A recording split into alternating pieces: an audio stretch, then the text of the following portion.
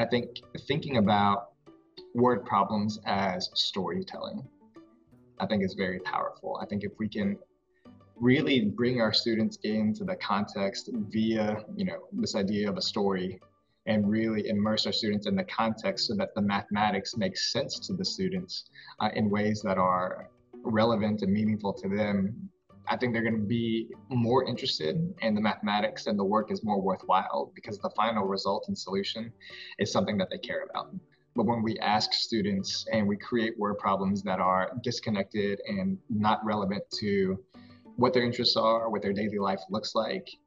then at that point in time, they, they feel like all they're doing is complying as opposed to really critically thinking and analyzing a world that is rich and full of context and numbers and mathematics that we can really be uh, leveraging.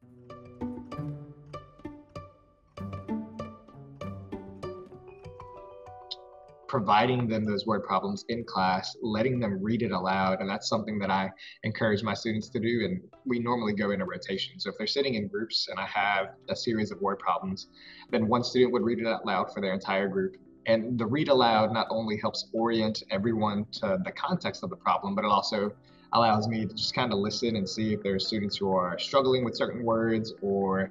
uh, mispronouncing certain words. And I think the struggles and the mispronunciation might lead them to make assumptions about the context that could potentially steer them um, in a direction that is not related to the math content that we're trying to assess.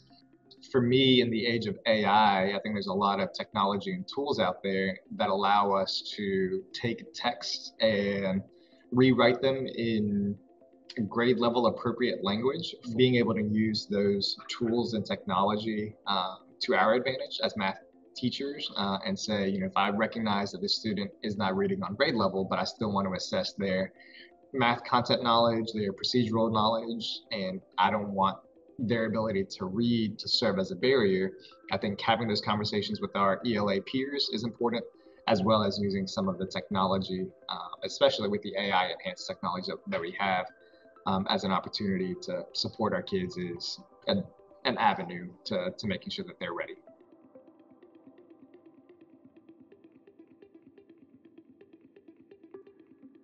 I think the first part for me and for any teacher is to really get to know who the students are in that classroom. Uh, I teach at a magnet school, and so my students come from all over our district. So the the context here is a little different in the sense that we're not a local community type of school where there is a very distinct culture in that city or in that town. But if a teacher was located in such a geographical spot, then I think understanding the dynamic of the city, the town, the traditions that take place there, but asking students, you know, what their interests are, uh, what their family and you know cultural heritage and traditions might be, and then using that in ways that are authentic, I think, are important. So, um, you know, I think it could be done in a variety of ways as far as uh, bringing that into the classroom. Uh, for me, I've got a handful of students that are Vietnamese students uh, or have Southeast Asian heritage. So I try and um, use contexts that are familiar there. A lot of the times I use food as a context. And so if we're going out to a restaurant that's a Vietnamese restaurant or a Thai restaurant, um, and you know you're ordering this particular dish, it could be pho, it could be um, banh mi, you know some of the more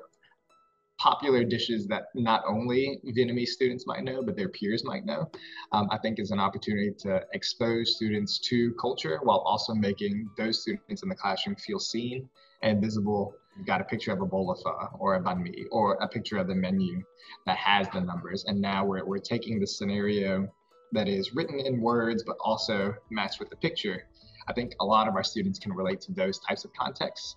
but you can't do that independent of knowing your kids.